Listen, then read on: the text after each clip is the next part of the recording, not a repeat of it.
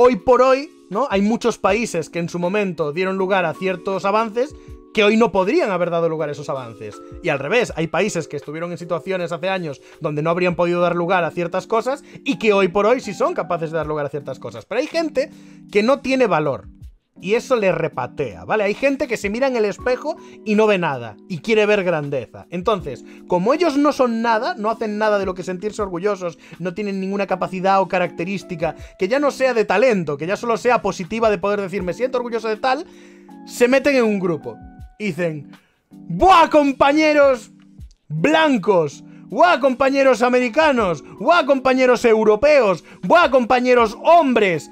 ¿No es genial que nosotros hayamos creado tal cosa guay? Tú no creaste una puta mierda. O sea, no importa que la persona que fue capaz de, hacer el primer trasplante de órganos fuese un hombre blanco de mi misma ciudad. Yo, aunque sea un hombre blanco de mi misma ciudad, no he hecho un trasplante nunca, ni he hecho el primero, ni sería capaz de llegar a hacerlo. Bueno, a lo mejor sí estudio mucho, ¿no? Pero ni sería capaz de llegar a hacerlo. Entonces, que alguien que se parezca en lo más superficial e irrelevante a mí, no hace que yo, por extensión, me lleve parte del crédito, ¿vale? Esto es como cuando gana un equipo, ¡ganamos! No, como que ser argentino no me hace campeón del mundo. ahí estamos, ahí estamos.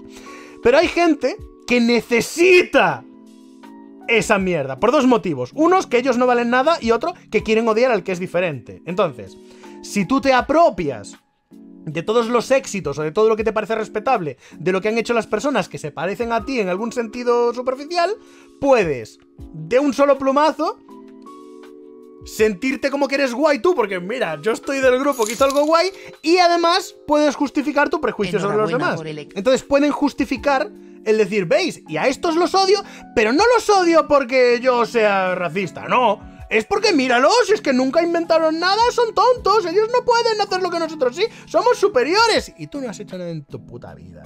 Nunca, eres un mierdas, ¿vale? Esta persona que está en plan de... Pues los hombres han inventado más cosas, así que los hombres somos... ¿Tú has inventado algo en tu puta vida? ¿Cómo? ¿Que no has inventado nada? ¡Te callas la boca! ¡Te callas la boca! Porque tú no has inventado nada. No, pero es que los europeos edificamos. ¿Tú has edificado algo en tu puta vida? ¿Cómo? ¿Que no? ¿Te callas la boca? No venía a decirlo. Tú no eres mejor porque otra persona que se parezca a ti fuese guay. No lo eres.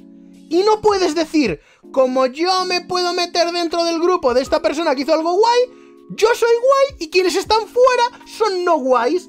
¡Ah, lo siento, negros! No inventasteis lo que inventaron mis antepasados blancos, así que sois peores que yo que nunca he inventado nada. ¡No, tío! ¡No, no! Tú no eres mejor que nadie por poder decir, ah, pues en esto me parezco a este tío, pues no estoy en su grupo. Pero en el deporte es un poco distinto. Tú puedes ser socio de un club y ser parte del club. A ver, a ver. Yo puedo entender que tú te alegres cuando el club de tu país o el club que representa a tu país gane.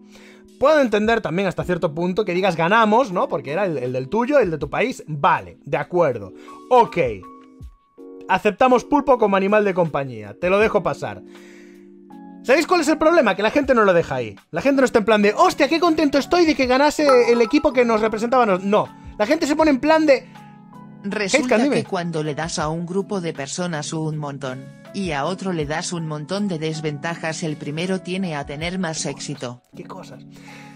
Yo me quejo de que esta gente no se pone en plan de, ah, qué bien, ganó nuestro equipo. No, la gente pone en plan, ¡ganamos! ¡Somos los mejores! ¡Soy española! ¿Qué quieres que te ganes? Ese tipo de mierdas que me dan un cringe de la hostia, ¿vale? Que me hacen querer esconder el carnet de identidad para que no sepan de dónde vengo. Ese tipo de mierdas son las que no aguanto. ¿Vale? El tema de, yo soy mejor porque una persona que nació en el mismo país que yo sabe jugar al fútbol. Pero tú no. Si en vez de este tío te hubieran puesto a ti, habrían perdido. Así que cállate la puta boca. Dale las gracias al jugador que ganó, di qué bien que ganó nuestro representante y sé muy educado con todos los demás, porque no puedes decir nada porque tú no ganaste. Ganó otro señor, ganó un equipo, un grupo de gente que se esforzó mucho y consiguió llegar a la excelencia de su deporte. Tú, José Ramón, no has hecho una puta mierda. Le gritaste a la tele cuando fallaron un penalti. Hasta ahí tu contribución. No te pongas a decirle a un francés que eres mejor que él porque no jugáis ninguno de los dos en la selección. Sí, pero Rangu, ¿cuántas copas tenés? Pues unas 12 aproximadamente, para cuando vienen las visitas.